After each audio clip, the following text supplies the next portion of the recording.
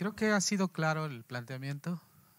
Dos vías que pueden eh, desatorar este asunto. Primero, eh, optar por ir a buscar acuerdos, un consenso, incluyendo las posturas de las víctimas. La otra, votarlo.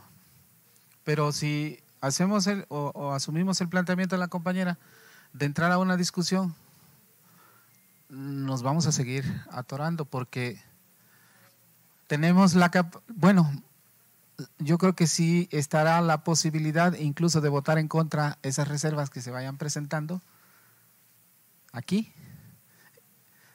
Y a la hora de agotar la discusión y votar en contra todas las reservas que se lleguen a presentar por la mayoría simple que ya el dictamen tiene de manera previa, pero sí suficiente para votar en contra de las reservas. Al final vamos a llegar al punto donde tengamos que votar en la generalidad del dictamen o la minuta y otra vez no va a dar la suficiencia. Entonces vamos a hacer un ejercicio que además de que ya se hizo, sería inútil, estéril y ocioso. Es preferible que optemos por la ruta de que eh, conciliemos y en su momento, cuando alcancemos la suficiencia, pues se vote y vaya a pleno. Esa es la, la, idea, porque al final nos vamos a seguir, pues vamos a redundar y no vamos a avanzar. Es como caminar en círculos. Ya sabemos si se presentan las reservas, quiénes las vamos a apoyar y quiénes van a votar en contra. Hay mayoría para que sea en contra.